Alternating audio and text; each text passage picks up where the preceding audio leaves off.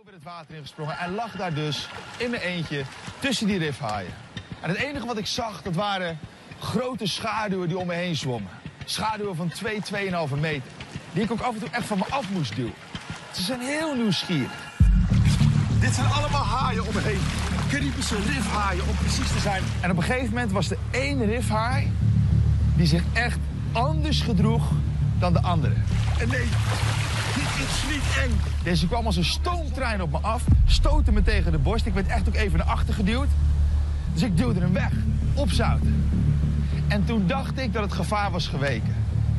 Maar wat we later op de beelden terugzagen, was dat deze haai dus niet wegzwom, maar een rondje maakte en mij van achteren benaderde.